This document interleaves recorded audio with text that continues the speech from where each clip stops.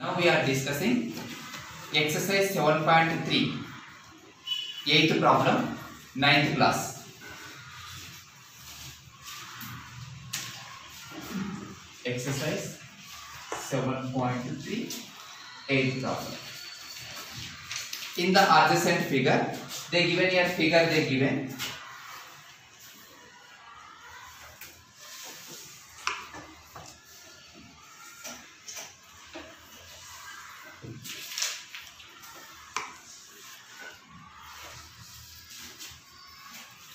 A B C P and Q. In the other side figure, triangle ABC is isosceles triangle. ABC is isosceles triangle means two sides are equal in this. AB equal to AC. AB equal to AC. These two are equal. BA and CA. BA and CA produce two. BA produce two Q and OCA produce two P. such that AQ equal to AP means here AQ equal to AB. These two also equal. Show that PB equal to QC. So now we have to show PB equal to QC. So in that we have to prove this one. We have to compare in triangle. They only given. In terms of they given. We have to compare in triangle APB. APB. I am taking here APB and triangle AQC AQC triangle AQC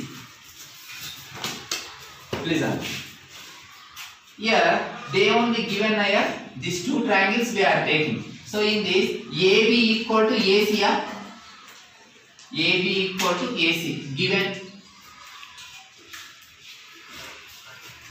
next we can write here this both are C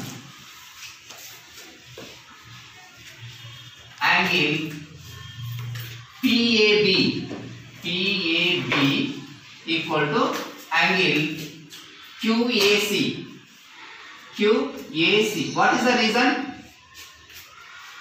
vertically opposite angles these both are vertically opposite angles vertically opposite opposite angles Okay. Next, again this also they given. AP equal to AQ.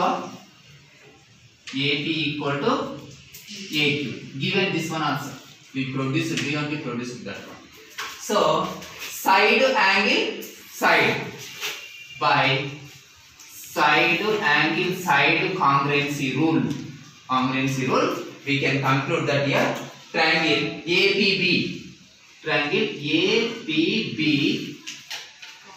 congruent to triangle AQC triangle AQC okay APB congruent to triangle AQC you got based on that we have to write here PB equal to QC yeah can write na PB equal to QC what is the reason CPCP corresponding parts of congruent triangles दर्शा